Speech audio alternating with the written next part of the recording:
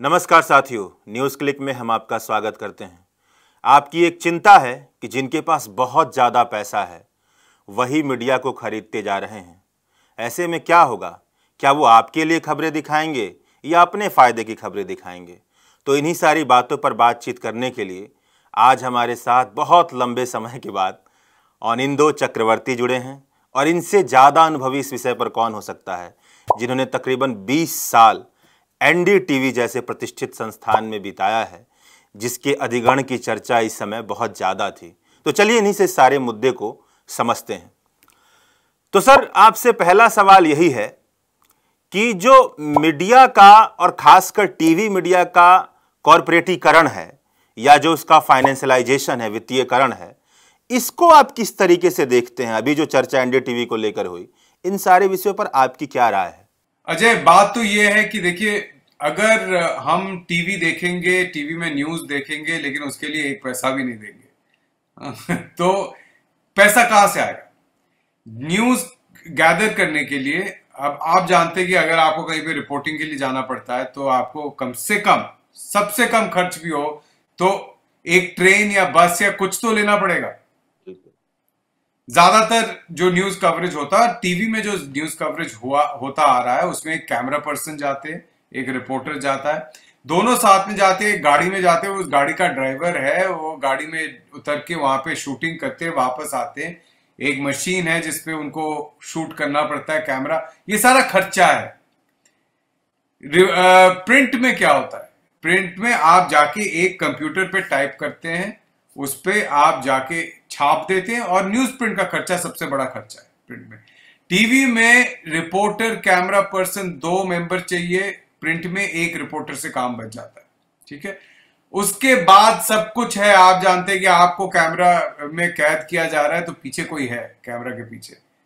आप दर्शक तक कोई पहुँच रहा है या पता चल, दर्शक को पता चल रहा है या नहीं, एक प्रोडक्शन कंट्रोल रूम है वहाँ पे। जहाँ पे एक डायरेक्टर बैठे हो जो आपके कान में बोल रहे हैं कि चलिए बोलिए अब।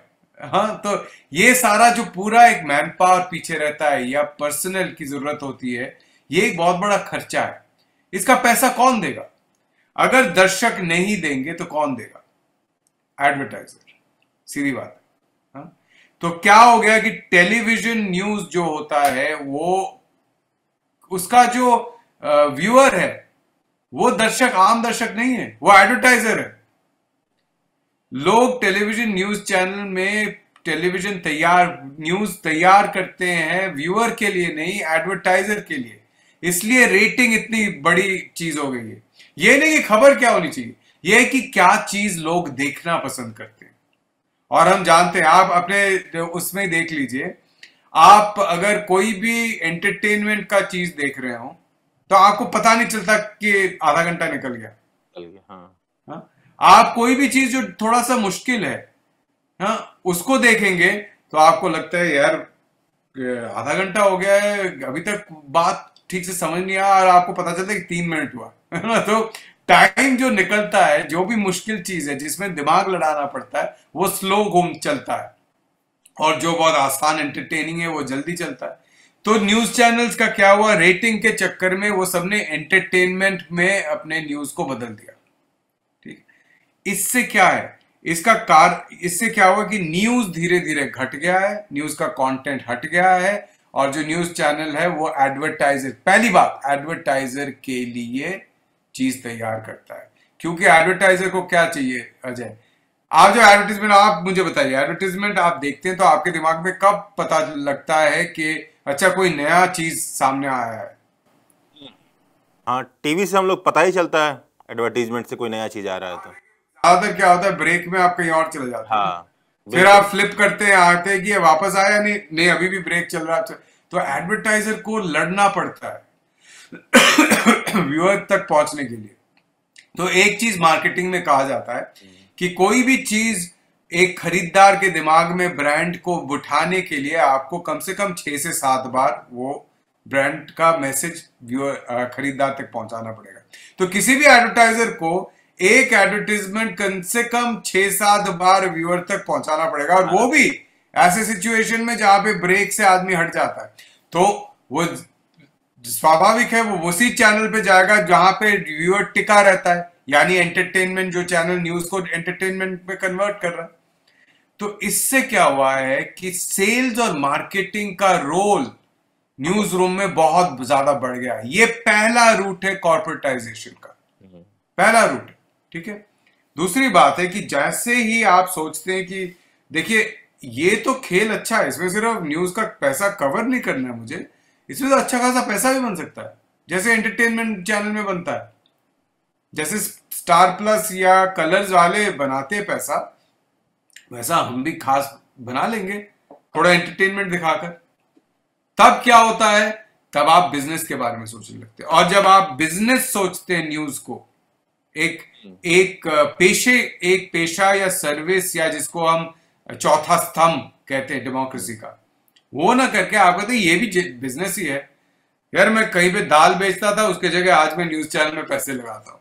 तो क्या होता है? सभी लोग चल सोचते हैं कि चलिए एक न्यूज़ चैनल खोल लेते हैं। और तो 2000 के आसपास 2000 का से 2007 नहीं, नहीं, मैं आने से पहले आपसे थोड़ा हाँ, सा एक और कुछ चीज़ें और मैं पता कर लूँ।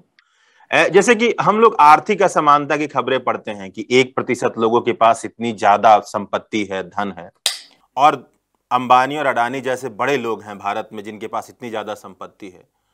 और जो मीडिया का पूरा कारोबार है अगर हम देखें तो उनके पास तो इतनी ज़्यादा संपत्ति है कि वो पूरे के पूरे कारोबार को अपने तरफ़ कर लें अपने तरफ़ हड़प लें और फिर वो जो चाहे सो मर्ज़ी करते रहे उस पर तो थोड़ा इस परिदृश्य को थोड़ा खोलकर बताइए क्या है। तो उसी पे मैं आ, उस उस पे ठीक है मैं इसको पहले हाँ। बता देता हूँ आप कह रहे हैं देखिए मीडिया जो दो बड़े आप जानते हैं बिज़नेस हाउस है आज सबसे बड़े सबसे अमीर दुनिया के टॉप टेन अमीर में से हैं। गौतम अदानी, मुकेश अंबानी। ये जो दो बड़े बिज़नेस हाउस है, आज ये बहुत सारे सेक्टर में चीज़ें कंट्रोल करते हैं। अब इनका इंटरेस्ट न्यूज़ में क्यों है? एक तो हो सकता है वो सोचते हैं कि न्यूज़ में पैसा बनेगा। ये एक बिज़नेस है। जैसे हम एयरपोर्ट पे लगा रहे हैं, या कहीं पे ऑयल में लगा रहे हैं, या कहीं पे जियो में लगा रहे हैं, उसी तरह से न्यूज़ में लगाते इसमें अच्छा पैसा बनेगा। एक कारण ये हो सकता है लेकिन पिछले 10-12 सालों में न्यूज़ में कोई पैसा नहीं खास बना नहीं पाया। न्यूज़ में जितना आप पैसा लगाते हैं, उसका रिटर्न बहुत कम होता है। तो न्यूज़ का में पैसा लगाने का सबसे बड़ा कारण यही है कि पब्लिक डिस्कोर्स को कंट्रोल करना। पब्लिक जो देख रही है पब्लिक जो सोच रही है, उसको कंट्रोल करना। क्योंकि हम जानते हैं कि जिसको हम डेमोक्रेसी कहते हैं डेमोक्रेसी को अगर डेमोक्रेसी में अगर हम माने कि सबका राइट है। कि तो सबको सब कुछ जानना भी ज़रूरी है ना? कि सरकार क्या कर रहा है क्यों कर रहा है? इकोनॉमी में क्या हो रही है? इस चीज़ को अगर मैं खरीदता हूँ तो इस दाम इतना क्यों है? सच में मुझे देना चाहिए या नहीं? ये चीज़ अगर मुझे सौ रुपए में मिल रहा है क्या कहीं और पे अस्सी रुपए में मिल सकता है? ये सारा चीज़ मैं सिर्फ़ पावर की बात नहीं कर रहा हूँ। मैं छोटे मोटी चीज़ों की बात कर रहा हूँ कि क्या सच में मेरी सैलरी पचास हज़ार होनी चाहिए? बिल्कुल। या एक लाख होनी चाहिए? ये सारा इंफॉर्मेशन कैसे आएगा? इक्वल ट्रांसपेरेंट इंफॉर्मेशन कैसे आएगा? मीडिया के थ्रू ही आ सकता है। हम्म, हम्म। तो अगर इक्वल इंफॉर्मेशन अगर हो तो टेक्निकली सभी के पास सब कह सकते हैं कि भैया देखिए कि हमें तो और चाहिए। एकजुट होकर लड़िए। इस गिरा सरकार को गिरा दीजिए। ये दो कंपनी के पास सब कुछ क्यों है। इनको सब तो पब्लिक डिस्कोर्स पब्लिक के पास कितना इंफॉर्मेशन है इसको कंट्रोल करने का एक बहुत अच्छा ज़रिया है मीडिया पब्लिक हम्म। को एक तरफ़ घुमाने का बहुत अच्छा ज़रिया है मीडिया तो अगर ये बड़ी कंपनियाँ मीडिया को कंट्रोल करती है जहाँ पे इनका रिटर्न खास कुछ है नहीं बहुत छोटी बिज़नेस होती है। ये तो बहुत लाखों कर, मतलब अरबों में खेलते हैं हम्म, इनको इनको सौ करोड़ के दो सौ करोड़ के बिज़नेस में क्या मतलब? है एनडीटीवी कुल मिला के सात सौ आठ सौ करोड़ रुपए का उसका पूरा। टोटल रेवेन्यू वगैरह जो आप देखेंगे उतना ही सब कुछ मिला के। हाँ? तो अगर ये इसमें इंटरेस्ट क्यों होगा? इसमें इंटरेस्ट एक ही हो सकता है। एक तो ब्रांड बिल्डिंग अपना और दूसरा है पब्लिक डिस्कोर्स को कंट्रोल करना। ये छोड़ के कोई इंटरेस्ट नहीं हो सकता। अब थोड़ा इस पर आते हैं कि ये अचानक तो नहीं हुआ होगा और आप आपने तकरीबन 20 साल तक काम किया है। तो आप अब ट्रिब्यून के अपने आर्टिकल में आप अपना अनुभव भी बताते हैं कि जब आपने उन्नीस सौ निन्यानवे में ज्वाइन किया था तो दस हज़ार रुपये आपकी सैलरी थी और मात्र पाँच साल में आपकी सैलरी पचासी हज़ार रुपये मंथ हो गई। तो ये जो वो सफ़र को अगर आप देखें तो एक यात्रा क्या रही है? थोड़ा इसे बताइए दर्शकों और मैंने ये भी कहा कि उससे एक साल बाद मुझे एक ऑफ़र मिला जो कि उसका हाँ, तीन गुना था। तीन गुना था हाँ। उसका तीन गुना ऑफ़र मुझे मिला एक ही साल एक ही साल बिल्कुल हम्म, तो थोड़ा इस, इस पूरी प्रवृत्ति को बताइए क्या है ये? तो ये जो चीज़ है उसी पे मैं आ रहा था कि जब 2000 के दशक में बहुत लोगों को लगने लगा कि अच्छा न्यूज़ से अच्छा खासा पैसा बन सकता है तो इसमें पैसा लगाते। इसमें तो बहुत सारे चैनल धीरे धीरे खुलने लगे। और 2004-5 में स्टॉक मार्केट से बहुत सारे चैनलों ने पैसा भी उठाया। दुनिया भर में एक स्टॉक मार्केट बूम हो रहा था। उस टाइम पे कहा जाता था कि अगर आपको इंटरनेशनल कोई भी मीडिया ऐसे टीवी नेटवर्क खरीदना हो, अगर रूपर्ट मर्डॉक रूपर्ट मर्डॉक जो कि फॉक्स न्यूज़ के ओनर है स्टार के ओनर हैं रूप सबसे बड़े न्यूज़ को मीडिया बैरन दुनिया के हैं। अगर कहा जाता था कि अगर रूपर्ट मर्डॉक कोई नेटवर्क खरीदना चाहता है तो कम से कम उसको दो बिलियन डॉलर देना पड़ेगा किसी देश में। हमारे यहाँ पे वो एक बिलियन डॉलर में खरीद लेगा। तो कोई भी न्यूज़ नेटवर्क का वैल्यूएशन वहाँ पहुँच सकता है।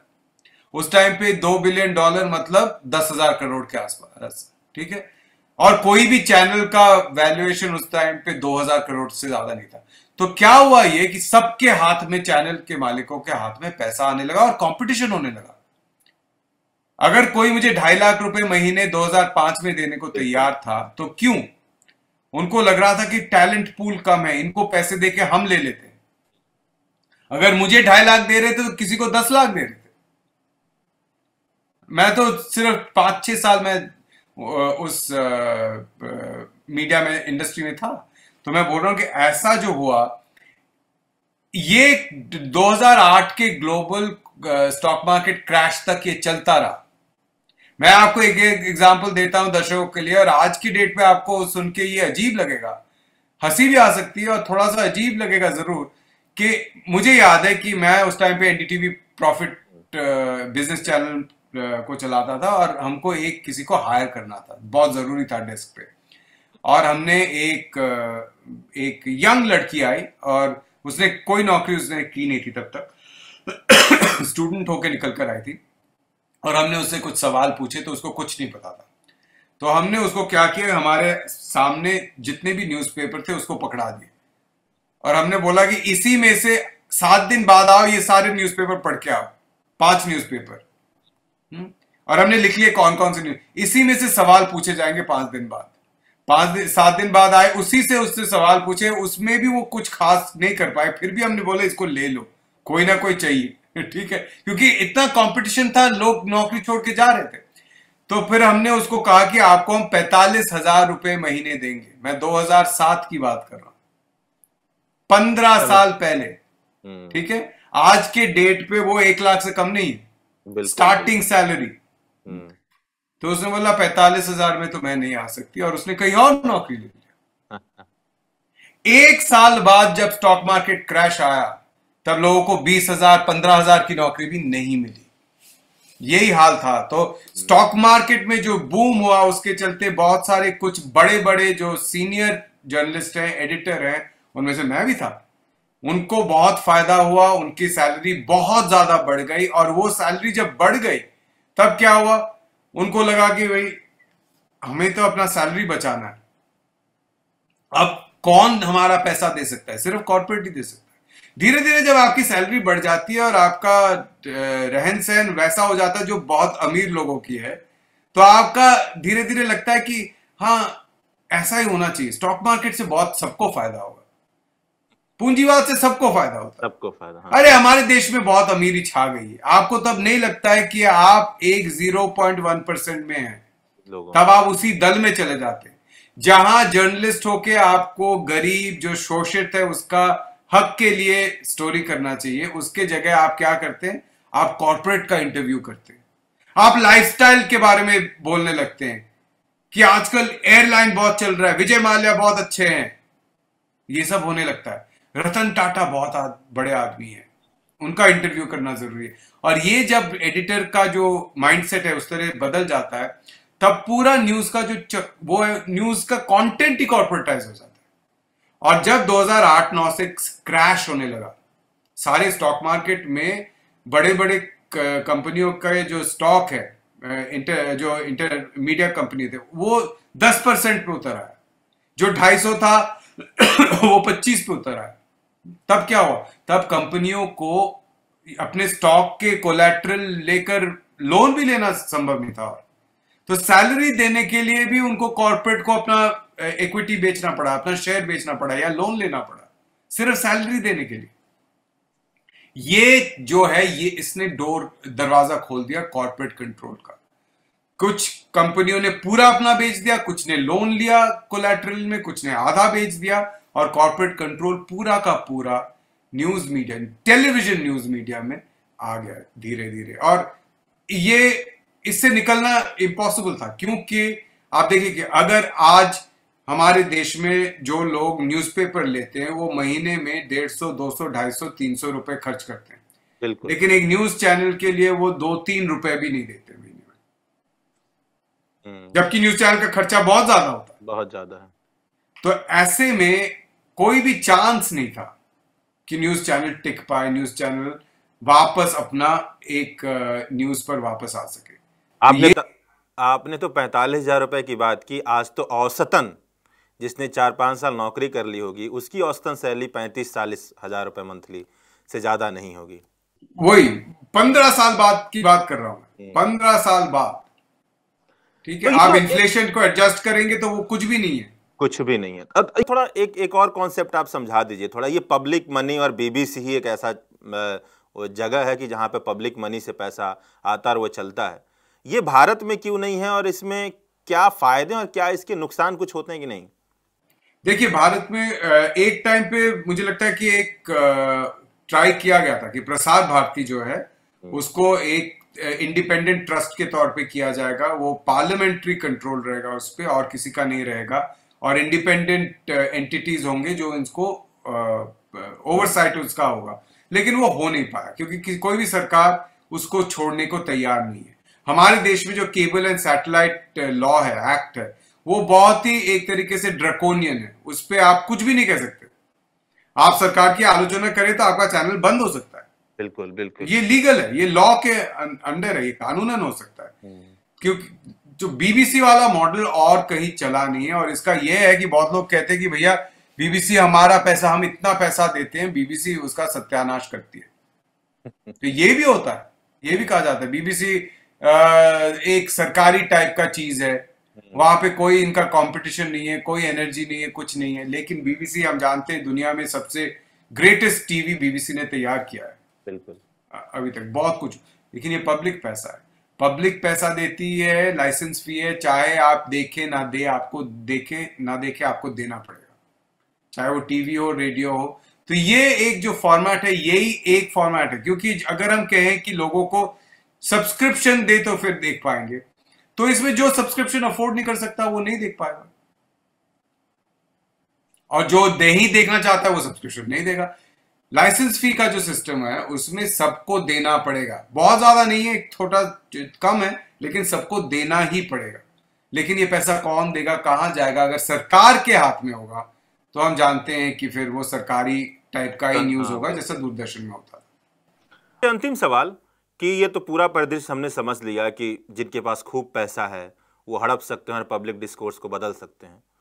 कहीं आपको कुछ दिखता है कि इसका कैसे बदला जाए क्या होना चाहिए? क्या तरीका है कैसा मॉडल अपनाया अपनाया जाए भारतीय परिदृश्य में जो कारगर हो सकता हो? देखिए मुझे लगता है कि इंटरनेट में जैसे न्यूज़ क्लिक है आ, या ऐसे बहुत सारे हैं एक ओपनिंग है लेकिन इसका रीच थोड़ा सा लिमिटेड है। सवाल यह है कि हम दर्शकों तक पहुँचने के लिए कर क्या रहे एक चीज़ तो है कि हम बैठ के कहें कि भाई हम जो हम तो न्यूज़ करते हैं। बिल्कुल। बाकी सब नहीं करते हम इंपॉर्टेंट चीज़ दिखाते हैं। हाँ। लेकिन हम इंपॉर्टेंट चीज़ दिखाते हैं किस तरीके से दिखाते हैं ताकि लोग उसे देखें। ये बहुत मुश्किल चीज़ है। ये आसान नहीं है। हमने एनडीटीवी इंडिया में बहुत मुश्किल से कोशिश किया था जैसे रवीश की रिपोर्ट हो या ऐसे जो शोज़ हैं। हमने बहुत एफर्ट लगा के इसको बदलने की कोशिश की कि इसमें एक इडियम जो है जो लैंग्वेज है जो भाषा है वो लोग समझ पाए। वो लोगों तक जाके लोग देखना चाहे। तो लेकिन अगर हम सोचे कि भाई हम तो इंटेलेक्चुअल लोग हैं हम तो इसी चीज़ों पे बात करते ये हमारा इंटरेस्ट है। हम्म। अब चाहे लोग देखे ना देखे हमें क्या? तो फिर वहीं पे हम हार जाएँगे। वहीं पे पब्लिक डिस्कोर्स का जो लड़ाई है वो हार। तो ये एक हमें डिवेलप करना है उतना आसान नहीं है बहुत मुश्किल काम है इसमें बहुत सारे एफर्ट लगेगा। बहुत बहुत शुक्रिया आपको इस पूरे मुद्दे पर इतने अच्छे तरीके से बताने के लिए। और सबसे ज़रूरी बात कि जिनकी ज़िंदगी कुर्बत में गुजर रही है, उनकी उनकी भाषा में कि वो समझ सके कि चावल, दाल, आटा, तरकारी का महत्व और उनके लिए वो महँगा क्यों होता जा रहा है, इस बात को वो समझ सके, इस तरीके से उन्हें पहुँचाया जाए। शुक्रिया आपका। तो अगर आपको हमारी बातें ठीक लगती हैं तो आप न्यूज़ क्लिक यूट्यूब चैनल को सब्सक्राइब कर सकते हैं। हमारे वेबसाइट पर जाकर हमारी खबरों को पढ़ सकते हैं। हमारे फेसबुक पेज हमारे ट्विटर पेज को लाइक कर सकते हैं। शुक्रिया, आप देखते रहिए न्यूज़ क्लिक